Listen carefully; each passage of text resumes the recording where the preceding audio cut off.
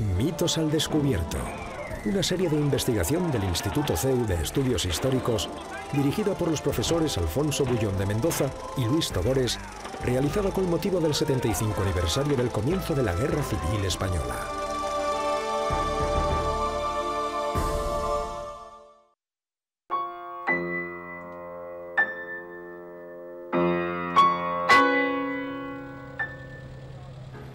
En noviembre de 1936, a los cuatro meses del inicio de la Guerra Civil Española, las tropas del Ejército Nacional llegaban a las puertas de Madrid.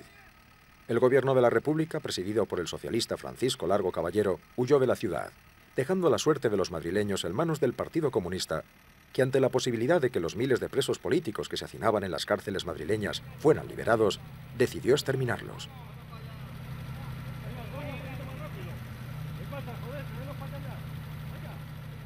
En Paracuellos del Jarama, el gobierno del Frente Popular cometió el mayor genocidio organizado de toda la historia de España.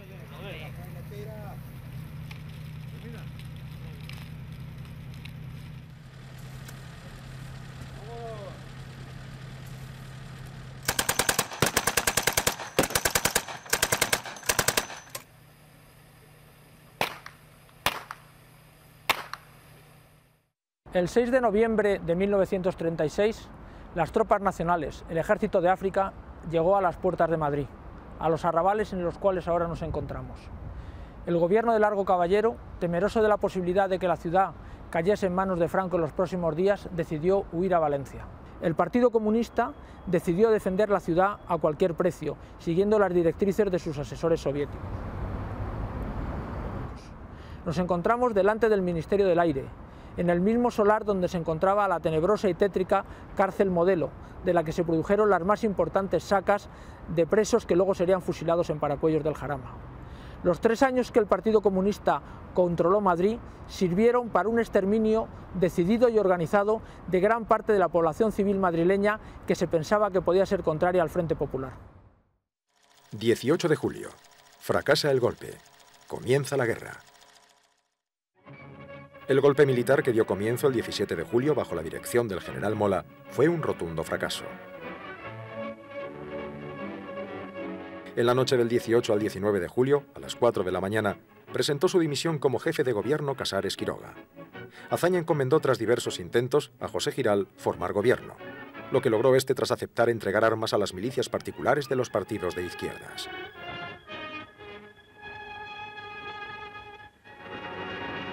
En Madrid se produjo la matanza de los sublevados que se habían rendido en el cuartel de la montaña. La disolución del ejército y de las fuerzas del orden por el gobierno republicano de Giral el 19 de julio propiciaron que los sublevados pudiesen convertir su fallido alzamiento militar en una guerra civil que habría de durar tres largos años. La población de derechas, que vio el golpe con simpatía, pero sin moverse de sus casas, pronto se vio forzada por los acontecimientos a decantarse claramente a favor de los sublevados, como consecuencia del proceso revolucionario al que dio paso el gobierno republicano, al entregar el control de la calle a las milicias políticas comunistas, socialistas y anarquistas, extremadamente radicalizadas y violentas.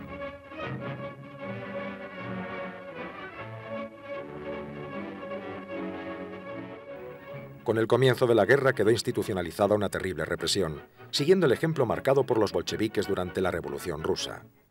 Para el Frente Popular el objetivo era el exterminio de una cantidad enorme de españoles, condenados únicamente por sus creencias religiosas, por sus ideas políticas o su clase social, independientemente de la vinculación que tuviesen con el golpe militar.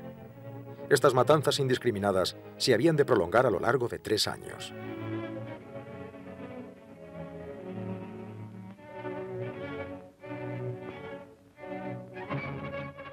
El 19 de julio la Segunda República murió a manos del golpe militar y de la Revolución Roja que habían desatado sus teóricos defensores.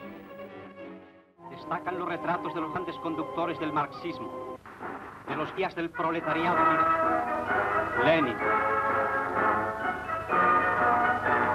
Stalin, rodeando al emblema de la Internacional Comunista. Terror en el Madrid de la República. Las checas. El gobierno del Frente Popular consintió que las milicias de los diferentes partidos de izquierdas, acrecentadas con numerosos delincuentes comunes salidos de las prisiones, creasen sus cárceles particulares, las temidas checas, en las que bajo el amparo de los llamados tribunales populares comenzó la captura y asesinato, los paseos, de religiosos, militares y derechistas, bajo la acusación de ser enemigos de la República y de la libertad. Todos los partidos del Frente Popular fundaron checas en Madrid, pero sin lugar a dudas, los socialistas y sobre todo los comunistas fueron quienes las convirtieron en un instrumento de control político al servicio de sus intereses de partido, siguiendo el ejemplo y directrices impuesto por los soviéticos durante la Revolución rusa.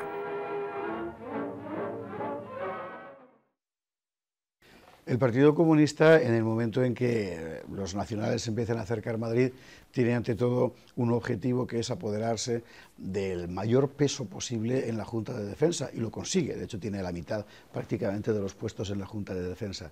Su objetivo en ese momento, por supuesto, es el del control político de todo el gobierno del Frente Popular, eh, siempre había sido ese el objetivo del, del, PC, y muy concretamente, y por instigación directa de Moscú y de la Internacional Comunista, la eliminación de lo que llamaban la quinta columna. Quinta columna que teóricamente eran los eh, presos eh, que por su carácter de funcionarios, de militares, de carrera, etcétera, podían engrosar las filas nacionales si Madrid caía y que por tanto consideraba el Frente Popular y específicamente el PC que debían ser exterminados.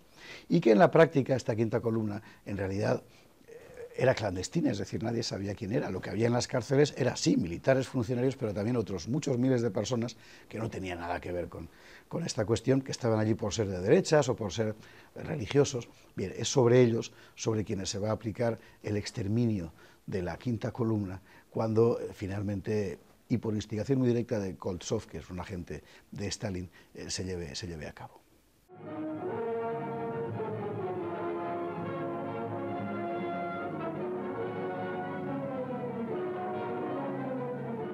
La guerra, a comienzos del otoño de 1936, no iba nada bien para la República.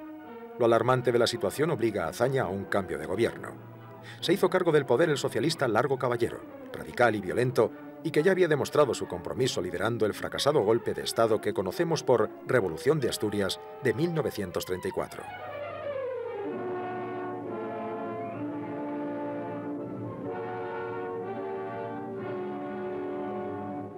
Bajo su gobierno proliferarán aún más los asesinatos y crímenes de todo tipo en la España republicana. Las numerosas milicias frente populistas se convertirán en las dueñas de la situación, apartando al gobierno republicano en la práctica del poder.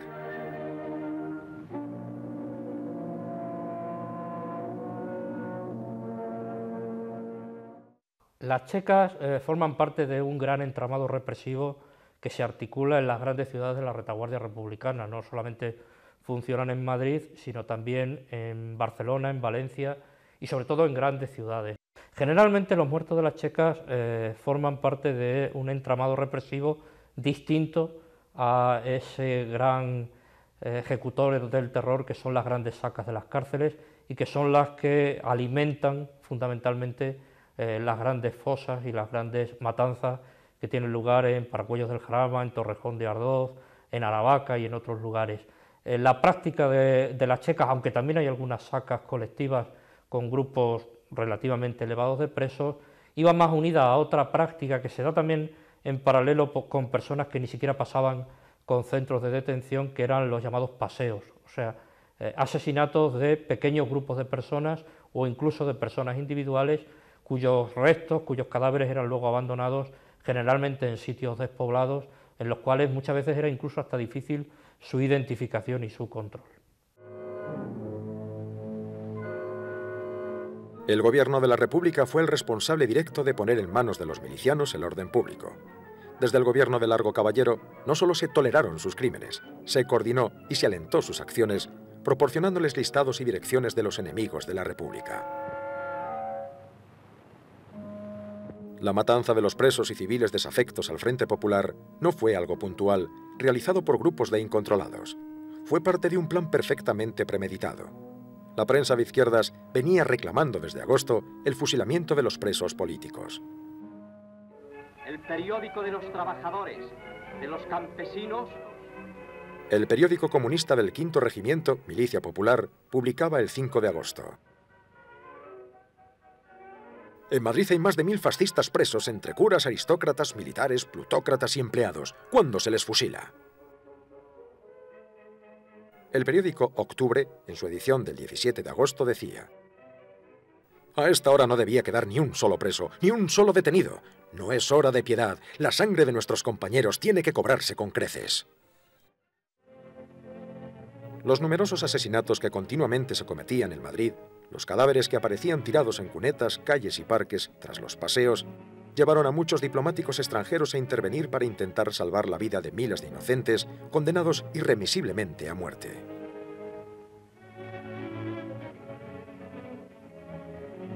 Los diplomáticos empezaron a acoger a muchos madrileños en sus embajadas. El cuerpo diplomático acreditado en Madrid fue testigo de primera fila de los crímenes que impunemente se cometían en nombre de la libertad y la democracia. Hombre, destaca en primer lugar, desde luego, Félix Slayer, que era cónsul de Noruega en Madrid. También eh, podemos hablar de Edgardo Pérez Quesada, que se convierte en el encargado de negocios de Argentina.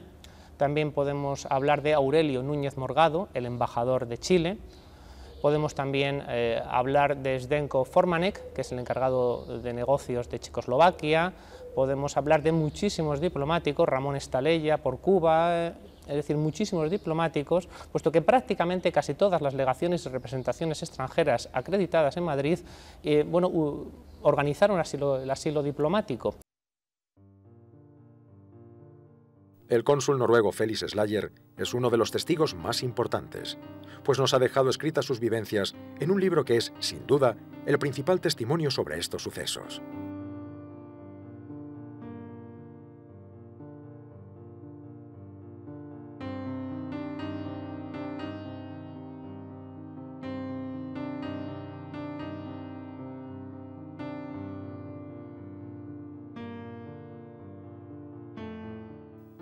Dice Slayer.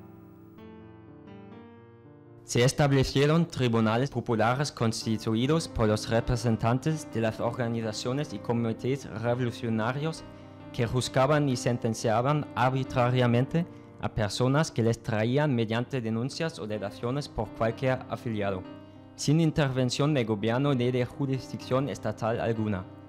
Habían montado sus propias cárceles y tribunales privados, los cuales juzgaban y asesinaban, según su antojo y buen parecer. Las principales víctimas de estos crímenes fueron militares, personas de derechas y muchísimos curas y monjas. Desde un primer momento fueron el objetivo prioritario a exterminar en nombre de la lucha de clases y del triunfo del proletariado, al ser vistos como defensores del capitalismo y la reacción. Un bandito de 28 años llamado García Atadel estaba al frente de una brigada de la Policía del Estado por medio de la cual no solo cometía los más inauditos desvalijamientos, sino que en cientos de casos entregaba a las víctimas de los mismos no a la policía, sino a las checas más sanguinarias.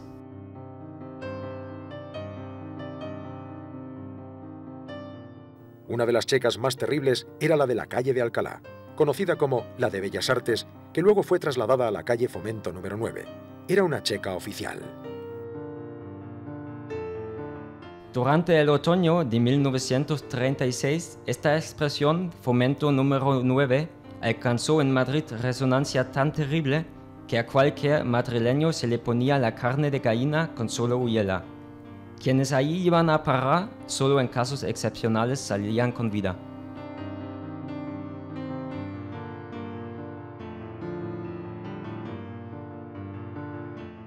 A petición de las organizaciones políticas, la policía facilitaba células o certificados de libertad. Con dichos documentos, cada noche los milicianos sacaban presos de uno y otro establecimiento penitenciario y les daban el paseo. En la cárcel correspondiente se registraba en la ficha del desgraciado así liberado la palabra libertad. En la cárcel modelo estaban hacinados religiosos, militares y políticos derechistas, muchos de ellos detenidos antes de la sublevación militar. También había muchos jóvenes falangistas.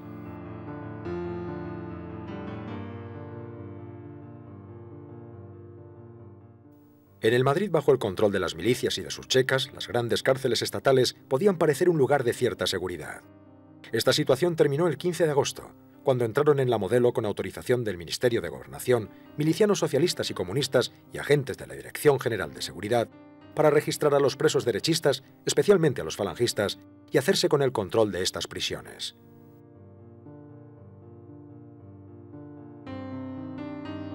A mediados de agosto empezaron a funcionar en la modelo los tribunales populares revolucionarios.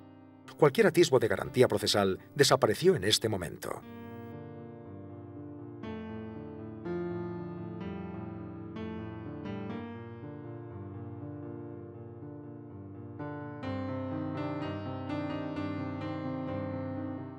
La noche del 22 al 23 de agosto fueron asesinados el diputado en Cortes doctor Alviñana, Melquiades Álvarez, republicano convencido y jefe del Partido Reformista, José María Martínez de Velasco, exdiputado y exministro, Fernando Primo de Rivera, militar y miembro de Falange, Manuel Rico Abelló, diputado y exministro, Julio Ruiz de Alda, aviador militar y falangista. Todos ellos fueron fusilados sin ninguna garantía procesal ni juicio previo. A estos crímenes siguieron una larga lista de asesinatos, entre los que se encontraría el del capitán Ordiales, el capitán Fanjul, hijo del general del mismo nombre, el general Capaz, el general Villegas.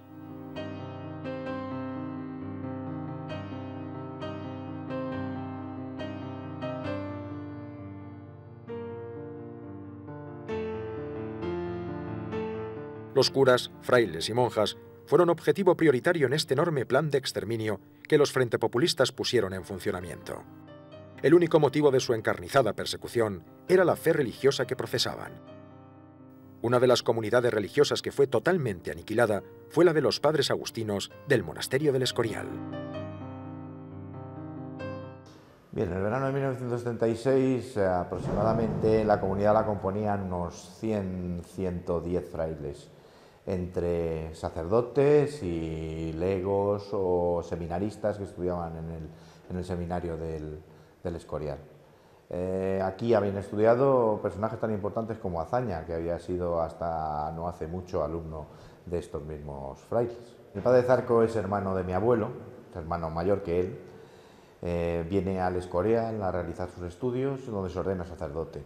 Eh, llegó a ser académico de la historia, de la Spanish Society de Nueva York, y pero su cargo más importante y sobre que él tenía un cariño especial era como bibliotecario de la Real Biblioteca del monasterio.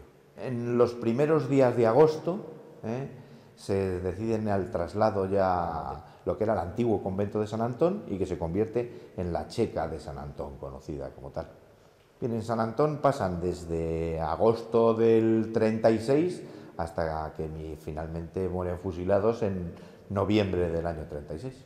Junto a los treinta y tantos, cuarenta frailes, eh, monjes ya eh, sacerdotes que vivían en este convento, había un gran número de jóvenes que corrían por estos claustros eh, y que eran seminaristas en aquella época y que corrieron la misma suerte que sus mayores.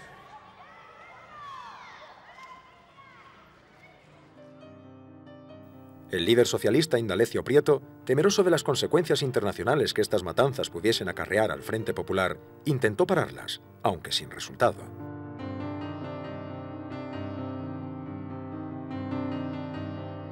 La posibilidad de que Madrid fuese liberado por los nacionales aceleró el exterminio de los presos detenidos en las numerosas cárceles y checas que poblaban el Madrid republicano.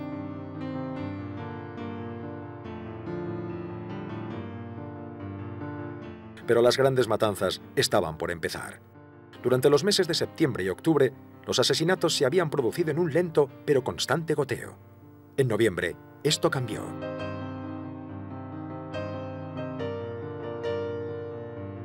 En Madrid, durante los tres años que duró la guerra, se produjo una enorme carnicería perpetrada por los partidos y sindicatos del Frente Popular. Los historiadores nos han dicho hasta ahora que esta masacre fue fruto de un estallido de odio popular como consecuencia de siglos de odio y de opresión por parte de la derecha española. Pero hoy sabemos que esto no es cierto. De los más de 20.000 muertos que se produjeron en Madrid, una gran parte fueron fruto del plan perfectamente organizado que el Partido Socialista, los anarquistas y sobre todo el Partido Comunista eh, perpetró para acabar con sus enemigos políticos. Estos sucesos luctuosos se produjeron sobre todo en Aravaca, Torrejón y especialmente donde nos encontramos, en Paracuellos del Jarama. Las grandes sacas. A finales de octubre y primeros de noviembre empezaron las grandes sacas. Las primeras matanzas se produjeron en el cementerio de Aravaca con los presos de las prisiones Modelo, San Antón y Ventas, que empiezan a ser sistemáticamente eliminados. En Aravaca fue asesinado el líder falangista Ramiro Ledesma y el intelectual Ramiro de Maeztu, al que se atribuye la siguiente frase. Vosotros no sabéis por qué matáis. Yo sí sé por qué muero, porque vuestros hijos sean mejores que vosotros. Los fusilamientos en Aravaca tuvieron que ser suspendidos por la cercanía de las tropas nacionales que ya estaban casi a las puertas de Madrid, siendo el nuevo lugar elegido para los fusilamientos la zona de Rivas hacia Madrid, junto a la carretera de Valencia, Torrejón y finalmente en Paragüellos del Jarama. A estas alturas, el gobierno de la República ya no podía ocultar lo que está pasando en Madrid. El cónsul noruego Slayer establece contacto con las cárceles a finales de septiembre de 1936 cuando va a visitar al abogado de la legación de Noruega, Ricardo de la Cierva, detenido en la cárcel modelo.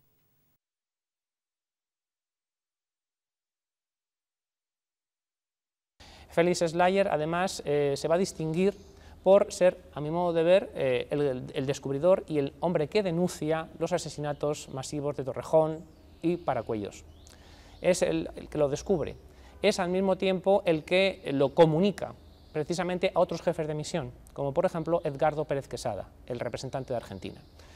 Él va también a ver las fosas, y bueno, las fosas estaban, eh, estaban digamos, eh, todo lo que había sido la fosa, había tierra, pero decían en sus informes que se olía el olor a cadáveres, sospechaban que efectivamente había indicios de que allí se habían cometido asesinatos masivos, y Edgardo Pérez Quesada escribe un informe demoledor que envía a Buenos Aires. Pero antes de ser enviado a Buenos Aires, el encargado de negocios británico le pide una copia. Y esa copia se conserva, puesto que fue enviada al Foreign Office. Y según eh, palabras de otro historiador, Ángel Viñas, no son mías, son de, de Ángel Viñas, ese informe fue demoledor cayó como una bomba en el Foreign Office.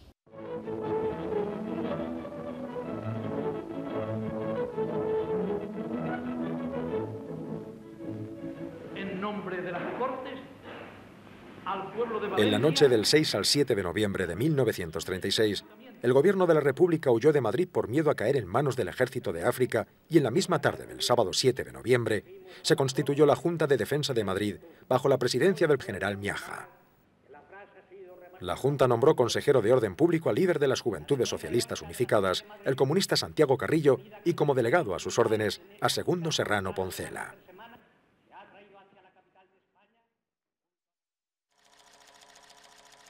Paracuellos del Jarama. Félix Slayer se entrevistó con el general Miaja, en aquellas fechas máximo responsable de la defensa de Madrid, que le garantizó que los presos en poder del gobierno de la República no sufrirían ningún daño. Slayer le preguntó por su amigo Ricardo de la Cierva. Miaja le garantizó su seguridad. Eran las 17.30 del 7 de noviembre.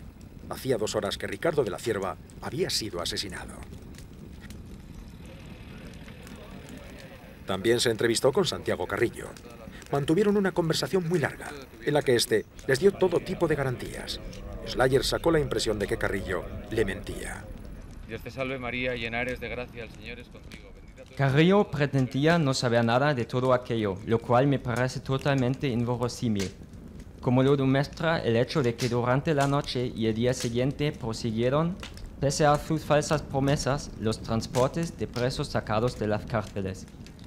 Prosiguieron sin que Miaja ni Carrillo intervinieran para nada, y sobre todo sin que pudieran seguir alegando desconocer unos hechos de los que les acabábamos de informar.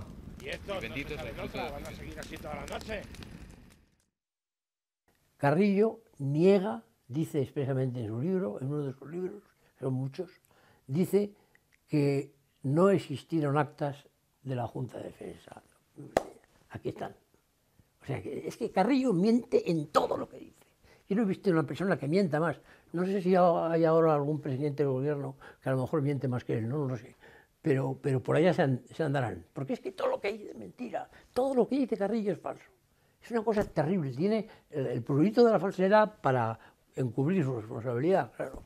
Bueno, pues Carrillo dice en la sesión del 15 de noviembre, que aparece en esas actas, dice Carrillo que él tiene la responsabilidad total y absoluta sobre todo lo que se refiere, se ha referido y se referirá a los presos de Madrid, que la autoridad única la tiene el delegado del eh, gobierno en la Junta de Defensa de Orden Público, y ese es él, y por tanto que nadie puede meterse en eso. Ya está, ya está, ya está la prueba. La prueba suprema la da el propio Carrillo el día 15 de noviembre en las actas para la Junta de Defensa de Madrid. Ya ven que yo estoy hablando con documentos, siempre.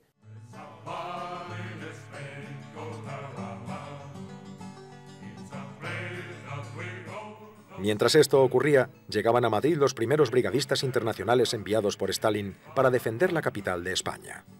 El Partido Comunista quería conservar la ciudad a cualquier precio y lo consiguió.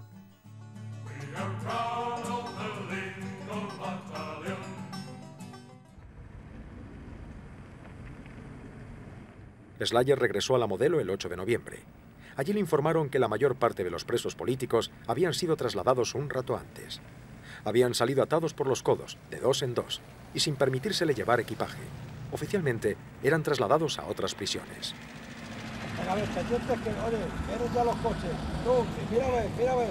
Pero, ¿dónde fueron a parar estos presos? Si no habían llegado a la prisión de Alcalá de Henares ni a Valencia, ¿dónde estaban? ¿Habían sido asesinados? ¿Dónde estaban sus cadáveres? Venga, ya viene el convoy. Vosotros quedaros ahí con el corralillo. Venga, a ver estos, a ver estos que no se nos... Tú, mira a ver con estos, que no se nos muevan. Slayer evaluó inicialmente en 1200 los hombres asesinados en estas primeras sacas. Los presos fueron fusilados sin juicio, estando la práctica totalidad de ellos detenidos desde antes de producirse el alzamiento militar y, por tanto, siendo incapaces de participar en el mismo. ¿Estos de dónde vendrán? ¿De la modelo? Pues de la modelo deben venir. ¡Sacad a los presos del último camión! ¡Vamos! ¡Todos fuera!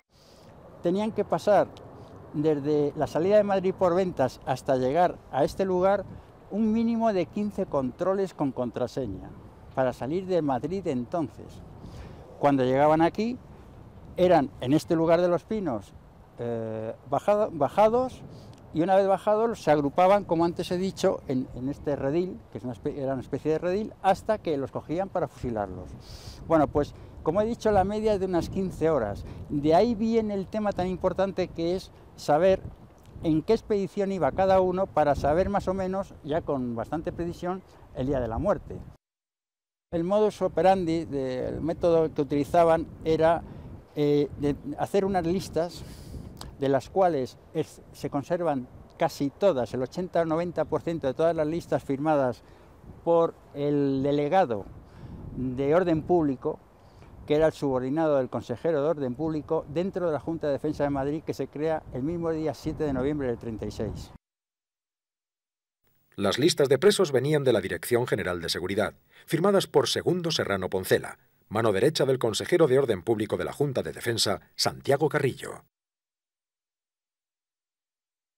En las expediciones que empiezan en noviembre, el día 7 de noviembre, muy de madrugada, es aquí donde la madrugada del día 7 y la del día 8, la tarde del día 7 y la tarde del día 8, vienen aproximadamente unos 1.500 presos. Y esos 1.500 presos, en números redondos, son los que van a ser asesinados.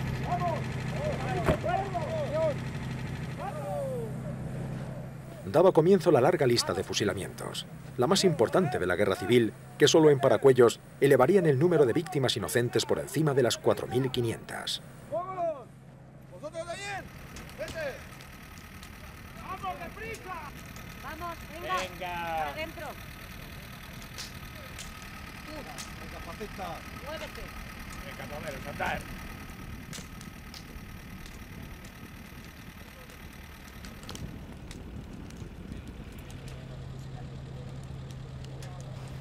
Aquí, por dar una, unas pequeñas cifras, aproximadamente hay unos 4.500 mm, personas enterradas.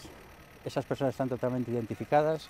Y con respecto al tema religioso, Digo que es el mayor exponente de la persecución religiosa que estuvo integrada dentro de lo que fue la, la Guerra Civil Española, porque aquí reposan hasta el momento 105 beatos, reconocidos por la Iglesia por defender la fe sin haber habido nunca una apostasía. Aparte de eso, aquí hay 21 orden religiosa en total y si contamos sacerdotes y religiosos, hay 281. Y con respecto a las personas asesinadas, hay de todas las condiciones sociales, de todas las clases sociales. Aquí lo que eh, todo el mundo cree es que son mayoría militares. Pues no, militares aproximadamente de todas las graduaciones y de todas las armas, aproximadamente es el 25%. Luego quedaría aproximadamente un 50-60% que es eh, de todas las profesiones liberales, civiles, y luego quedaría el resto, se dividiría entre los religiosos sacerdotes, incluidos novicios, etcétera, y aproximadamente unos 300, no llegaría a 300 eh, chavales o gente joven menor de 18 años. Y conforta mi alma. Me guía por senderos de justicia.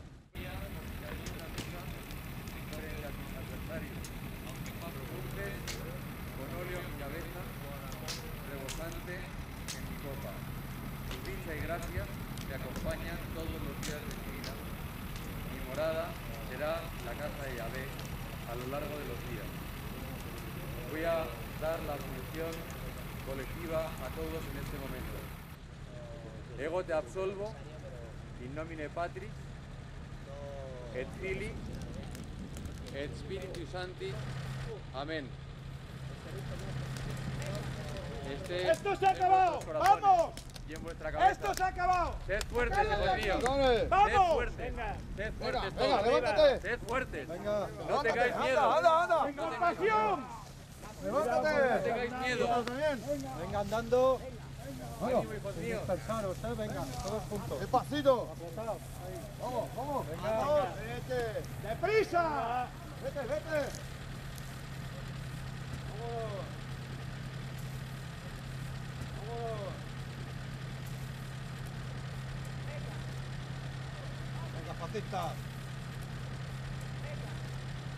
¿Qué pasa, joder? ¿Tenemos para allá? Venga.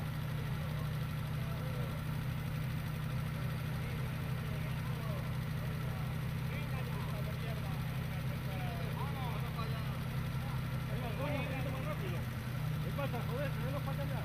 Venga.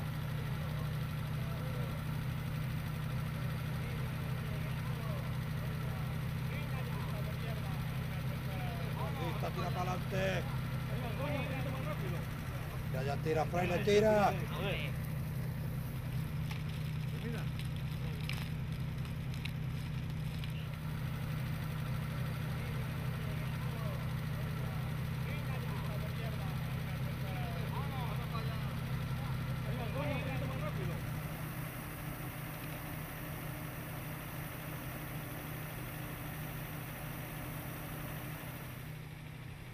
¡Vamos a acabar con esto!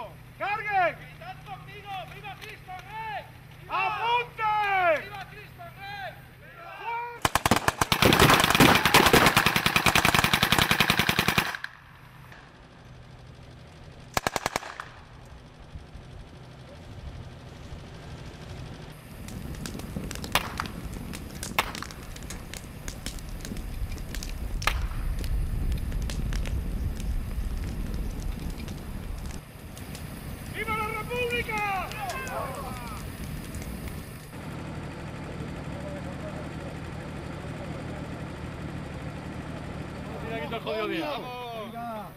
Venga. Venga. ¡Cura! ¡Vamos! ¡Vamos! ¡Venga!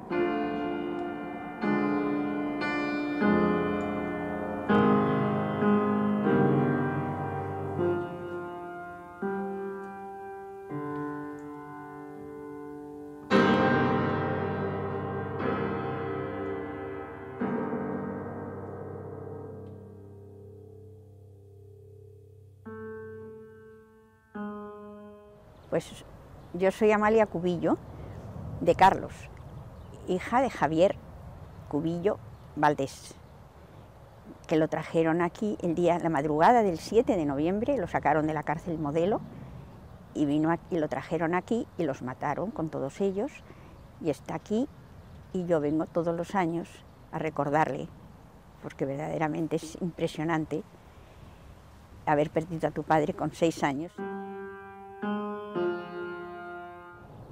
Llegaron aquí y según cuentan los mataron poniéndolos a todos eh, con tiros que dice que incluso no los no quedaron muertos del todo que ese es un sufrimiento muy grande porque dice que eh, les disparaban y que no dejaron a morirse todos a la vez sino que luego se fueron muriendo y además le echaron tierra encima con lo cual ya lo terminaron. Eso es lo que nos han contado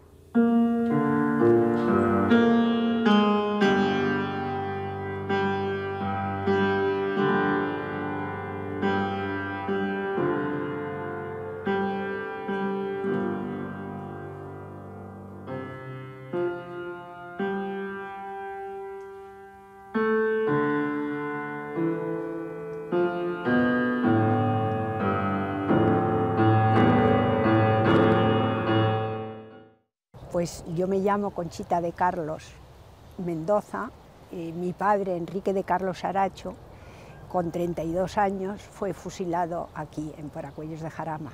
Le detuvo un, un interventor que había estado en la misma mesa que él, que era de izquierdas, y le reconoció como por haber sido interventor de derechas y esa vez ya le llevaron primero a, a, San Manuel y San Benito, donde estuvo unas horas, después a la Checa de la calle San Bernardo, donde estuvo unos ocho días, y de ahí ya pasó a la cárcel modelo.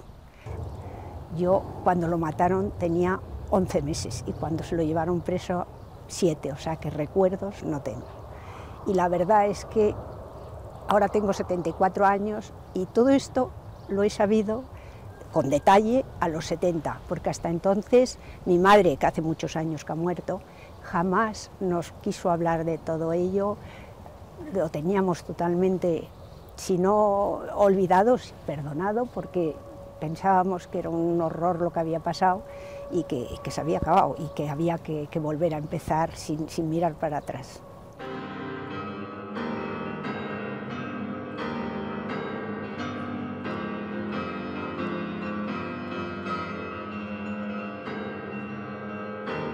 Bueno, Pedro Mío Seca fue un dramaturgo, nacido en el puerto de Santa María en el año 1879, porque él engañó a las biografías, él era muy supersticioso y ha conseguido que casi todas las biografías pongan que nació en 1881, que es un año capicúa, pero él nació en el 79. Eh, un dramaturgo que llenó toda una época del teatro, del teatro español hasta, hasta la guerra, que escribió 300 comedias, que una de ellas es un clásico del teatro español, La venganza de, de Don Mendo. Era una persona normal que se casó, tuvo nueve hijos, honrado, triunfador, y, que en el año 1936, en esa locura colectiva en la que se metió España, pues eh, fue asesinado. Él fue detenido en Barcelona después de estrenar una, una comedia llamada La tonta del rizo.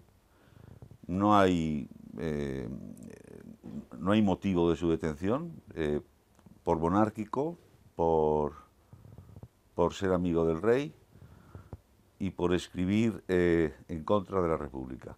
Él hacía, supuestamente en un régimen de libertades, como decían, presumía la República, él hacía crítica de la República y sobre todo de las de los despropósitos de determinados avances sociales que no eran avances sociales en muchas de sus comedias. Y entonces eso se consideró un, delito.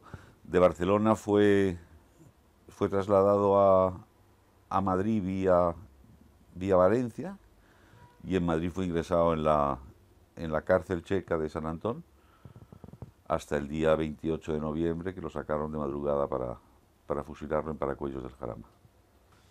Él empezó eh, a principios de noviembre a, temer cuando, cuando vio que, sus compañeros de celda, él estaba con, varios marinos y oficiales eh, eh, del ejército y con sus hijos, pues, pues un día no llegaron. Entonces él estaba también en, la, en aquella celda con Julián Cortés Cabanillas, con Cayetano Lucaetena y con un sacerdote, don Tomás Ruiz del Rey. Y el día 26 de noviembre, pues tuvo un juicio popular en la propia, en la propia cárcel, donde, donde se le acusó exactamente eso, de, de antirepublicano, monárquico y, y, católico, y cristiano. El día 27, por la tarde, le llamó el director de la prisión y le dio más noticias. En, su libro de memorias, eh, Cortés Cabanillas lo cuenta, cuando llegó mi abuelo algo abrumado y, le dijo, pues no hay salvación, eh, nos matan, será mañana o será pasado mañana. Y el 28 de noviembre, por la, de madrugada, a la una, una y media de la mañana, se encerró en la celda con, con el sacerdote don Tomás Ruiz del Rey, que falleció con él, fue asesinado junto a él, eh, se confesó, estuvieron hablando y a las 4 de la, de la mañana eh, escribió su última carta a su mujer que está fechada el día 28 de noviembre.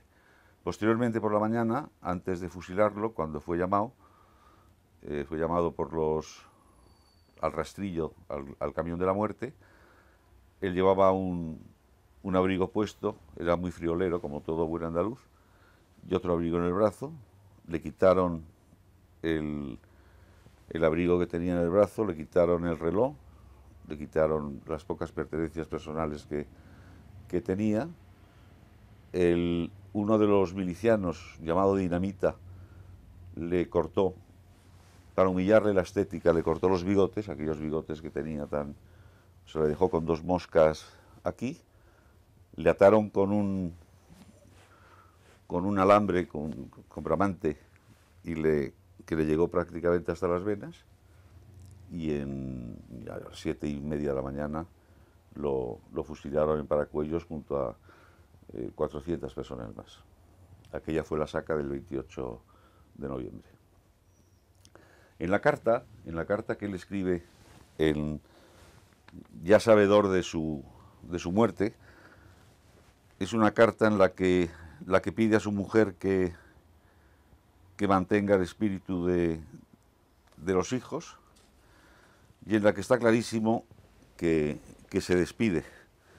Dice en su párrafo final, siento proporcionarte el disgusto de esta separación, pero si todos debemos sufrir por la salvación de España, y esta es la parte que me ha correspondido, benditos sean estos sufrimientos. Te escribo muy deprisa porque me ha cogido la noticia un poco de sorpresa. Adiós, vida mía, mil besos a los niños, cariños para todos y para ti, que fuiste siempre mi felicidad, todo el cariño de tu Pedro, 28 de noviembre. Como comprenderás, voy muy bien preparado y limpio de culpas. O sea que estaba clarísimo que él sabía que ya se lo había anunciado el director de la de la Checa, que, al día siguiente o, dos días después pues eh, sería asesinado.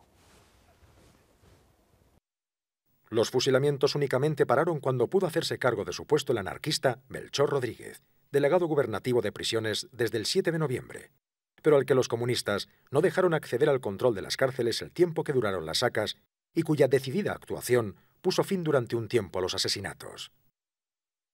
Slayer se planta en Paracuellos, habla con la gente del pueblo y la gente del pueblo de Paracuellos le cuenta que fueron obligados a acabar las fosas para los muertos que hay ahí. Entonces Slayer se va a ver a Carrillo y le dice, Ricardo de la Cierva está enterrado en Paracuellos. Después de muchos dimes y diretes, Carrillo lo tiene que confesar. Y por el propio Carrillo sabe Slayer que mi, que mi padre había sido asesinado.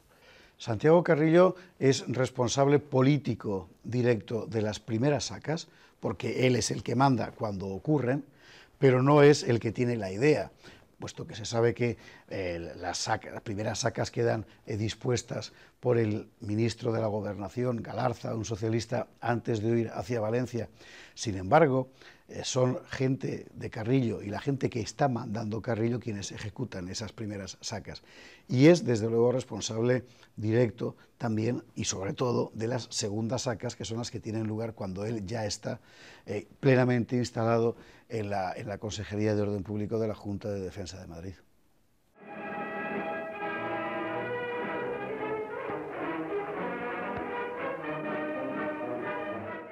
Desde un principio, las máximas autoridades de la República fueron conscientes del crimen contra la humanidad cometido en su nombre por los comunistas en Paracuellos y cómo esto podía afectar internacionalmente a su causa.